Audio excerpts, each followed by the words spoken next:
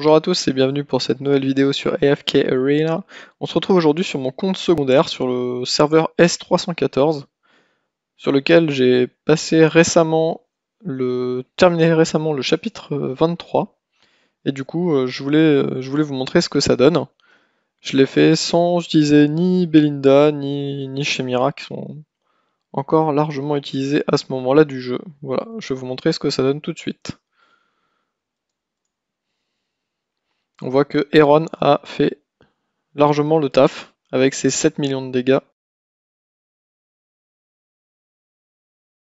Et comme vous, comme vous pouvez le voir dès le début du combat, c'est est très très bas en point de vie. C'est vraiment mal engagé. Atalia meurt. Scrag meurt. Heron est low. Et... Et là,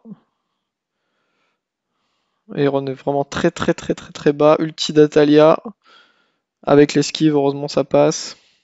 Ulti de Tassi. Il reste encore quand même... Euh, Atalia et Tain. Tain vient de tomber. Atalia qui se retrouve stun avec l'ulti de Rohan. Encore un bel ulti de Aeron. Et voilà, Atalia qui tombe.